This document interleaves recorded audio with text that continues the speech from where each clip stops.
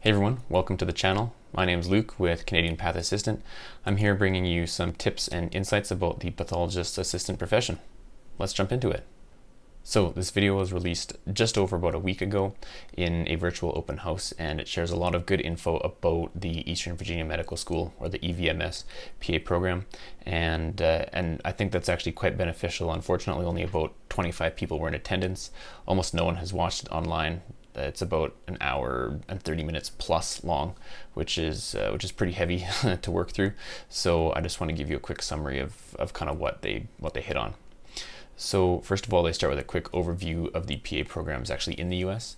The EVMS program is the third largest in the States. This uh, for the for the upcoming year, so 2021, they'll be taking 23 students and they're receiving about 130 to 150 applicants a year. So that's a you know a fairly big pool to be drawing from.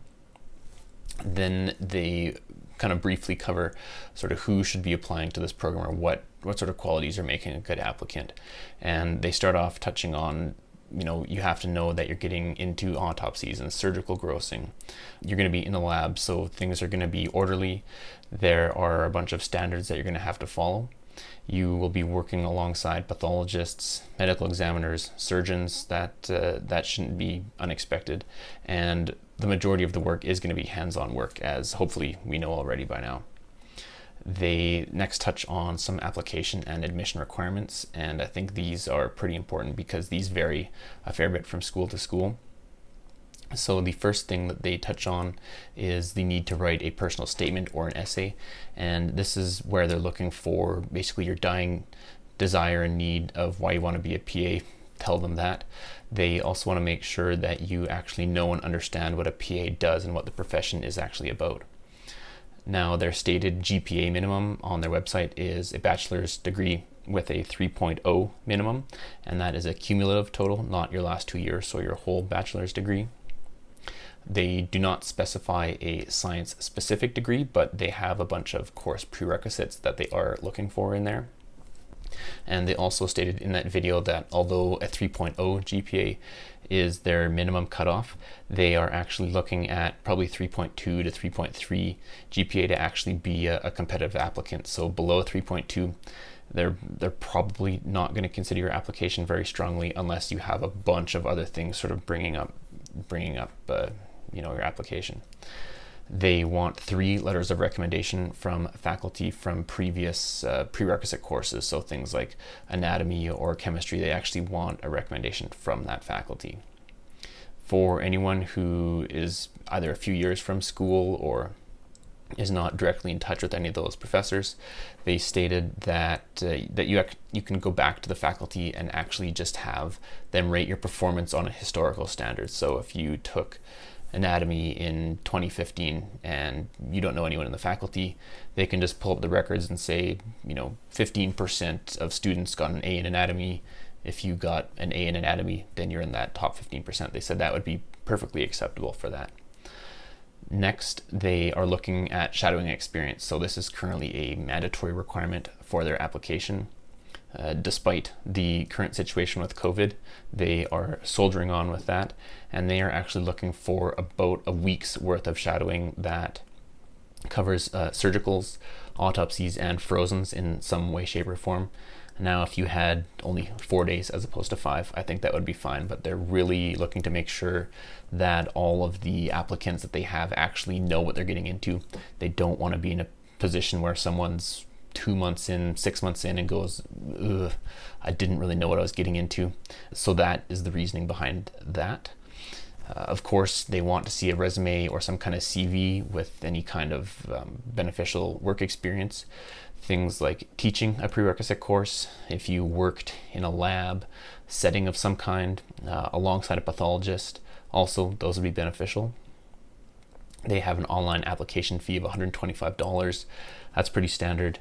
And they are also looking for a GRE or an MCAT score to come along with that.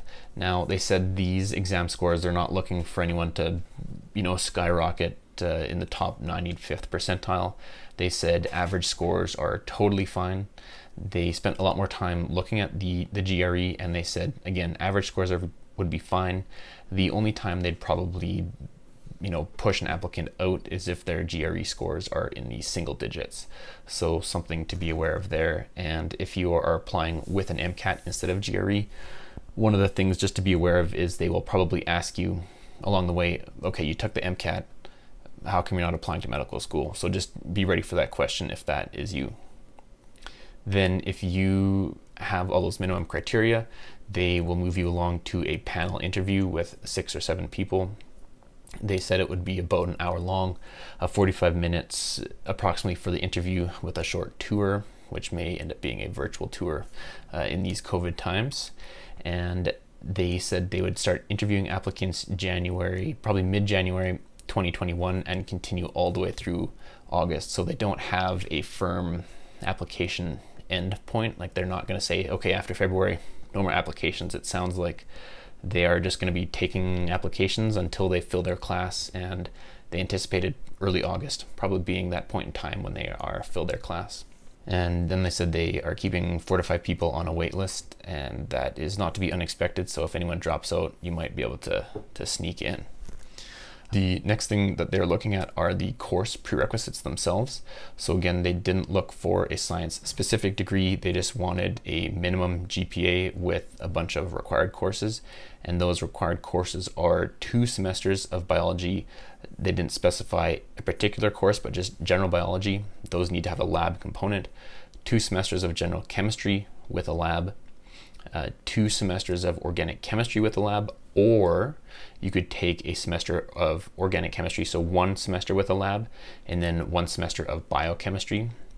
They consider those about equal weight, and and they just stated because you're not actually doing super hard chemistry type things in the course, but but courses like organic chemistry are a good sort of marker for if you can handle a course that rigorous, you'll probably be in a good spot for the program itself. Additionally, they want a semester of math, so one semester and one semester of physics as well. Now, those are the prerequisites, so if you don't have those, they're probably not going to take your application. But they also had some recommended courses, and that was one term of microbiology, one term of combined anatomy and physiology, one term of neuroanatomy, and one term of histology. Now, they stated these as required courses, uh, sorry, not required courses. These are not required, but recommended. So if you are an individual whose GPA is a little bit lower, maybe it's, you know, 3.1, 3.2, definitely on the bottom end of that spectrum, these are courses that may may sort of bring your application back up and give them reason to think, okay, this, even though their overall GPA is not as great, they've taken these courses, and especially if you do well in those courses, they uh, you know they may bring your application back into consideration.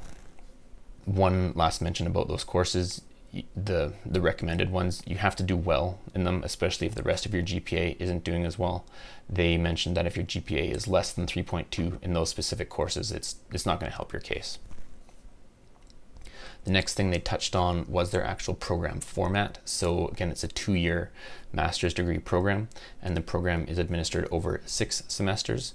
They stated a fall, a spring, and a summer. The fall term ends about December 10th, and then you get about a month-long break until mid-January before the spring term starts up again. Uh, I say spring because in Canada, January hit cold. Um, that's not spring, but for them, sure.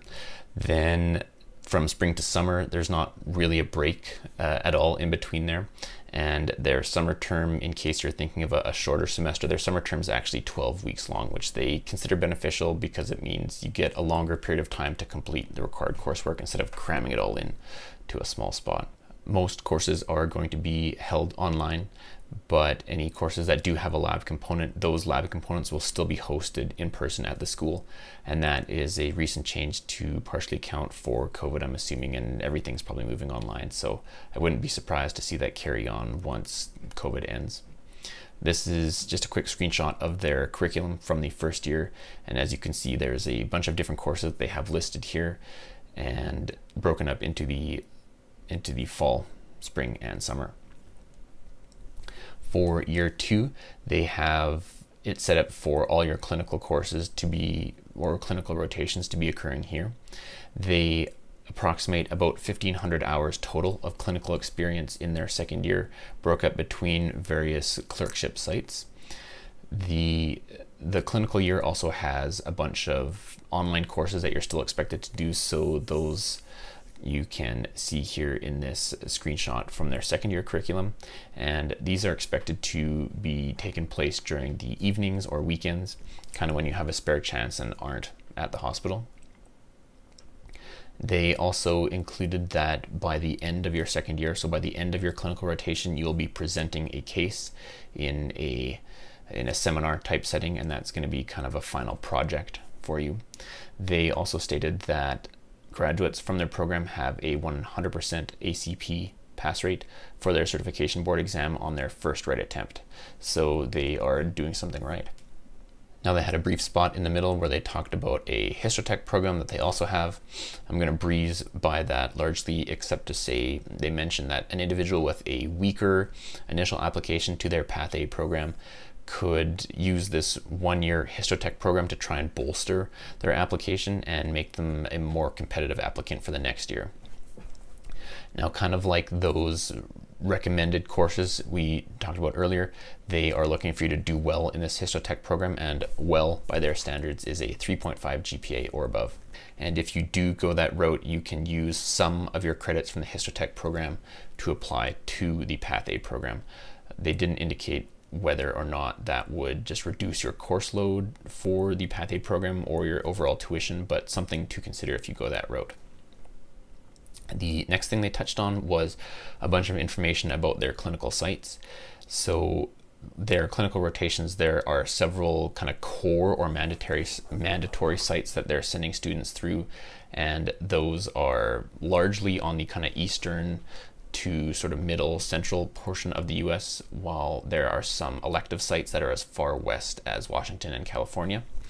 They one thing that they mentioned that no other school other than them does is for the uh, for the core clinical locations or clerkships that are located along the east, they actually are paying for your lodging if you are traveling sort of out of state or far away.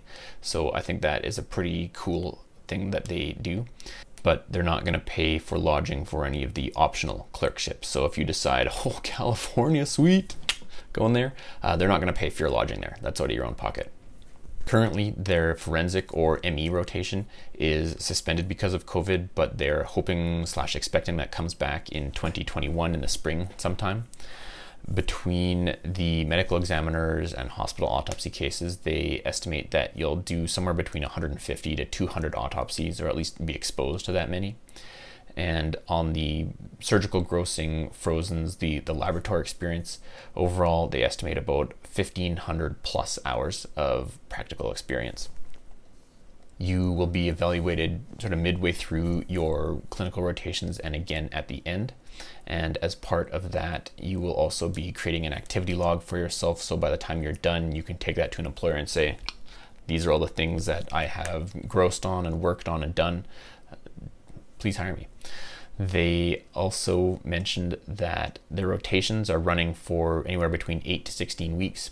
They don't want to send you to a location then bounce you out two weeks later. That's pretty disruptive. So you'll be able to stay in, in one spot at least for long enough to, to get settled and get into a groove of things. And then the last thing they mentioned about the clerkships or their practical rotations is that your final clerkship cannot be at a location in which you are hoping to get a job. So protect prospective students cannot be hoping to get a job from that last location. It has some implications with NAACLS accreditation and in their rules, so just something to be aware of. Then they touched on a, a, quick overview of some specimens you can expect to see. I think they just threw that in there. So if you were watching this lecture and you went, gross, sign that you need to pick a different school or career. Then they touched on an overview of where PAs can be working. The vast majority of locations, probably 80 to 90%, are at a hospital and will probably be grossing anywhere between five to eight hours a day. And that is kind of the, the overall expectation. The next thing they mentioned were some salary expectations for when you come out of the program. The national average, they stated, was 84,000. Again, first year coming out of the program. And I think that takes into account a big range depending on the cost of living and where you're actually working. The range itself, they said, was somewhere between 62 to 124,000. And again, that's American dollars, so something to just be aware of. They then touched on workplace expectations. Again, probably 90% of your time is going to be spent grossing within most likely a hospital setting and you're probably going to be working at a site that processes somewhere between 20 to 30,000 specimens a year, so you're not slacking off. Briefly, then, they went over why there is an increased demand for PAs, and some of this I, I found pretty interesting as well. First of all, PAs are pretty cost effective compared to a pathologist working in the lab and doing the dissections themselves. We are almost 25% the cost of a pathologist working, so that is a big cost savings, and the vast majority of that cost savings is actually made up within the salary for a PA itself. The baby boomers are kind of aging and retiring and living longer, so that's just more people utilizing the healthcare system and, and potentially getting sick. The US population is continuing to grow, and there is also a reduction in the number of pathologists and pathology residents in training. So, as that number goes down, the number of staff available to do grossing is also going to decrease. They mentioned some of the duty evolution of PAs as we become more and more involved in the lab. We're doing more complex dissections. Our volume of work is increasing. There are roles in fetal autopsies. Academic responsibilities increasing. There's more admin duties, and we're kind of getting more and more integrated into the rest of the laboratory as well. They then finished with a brief question and answer period, and one of the first questions was Are older applicants as viable applicants to the program? And I'm guessing that based on what they mentioned earlier, most of their applicants are in their 20s or maybe early 30s, and older, they didn't again give an age range, but I'm thinking maybe 35 plus. Or they didn't say, but it seemed like they were slightly more hesitant with older applicants, but they said that in their experience they haven't had any issues with them, but they are probably just looking for more confirmation that an older applicant will succeed compared to a younger person who has just come out of school. They next answered a question about the weight of academics versus experience for their application, and it seemed that even though experience, for example, as an on-the-job trained PA, is nice, it's not going to make up for a, you know, for a poor academic uh, standing even that 3.0 GPA, if you have a lot of work experience, they're probably still going to lean a little bit more towards that 3.2, 3.3 and above for an applicant. So don't count on that as getting your, you know, getting your butt out of the fire. Where to find shadowing experience was the next question that they touched on. Uh, again, the school is requiring shadowing for the program, and I know that is a big challenge for some individuals, especially given the, the COVID situation going on right now. They stated that they will not facilitate any shadowing, so don't call them and expect to just get a shadowing placement. They're not doing that. The one thing that they did say is for any strong applicants that they have, so you know, bang on GPA, you're you're killing it in every other way, you're your statement of intent or whatever is awesome. You have a killer CV, but you haven't managed to get any shadowing. If you basically stand out in every other way except for shadowing, they may may facilitate some shadowing on your behalf. The last question touched on the GRE and MCAT scores. They are wondering what kind of GRE score is too low.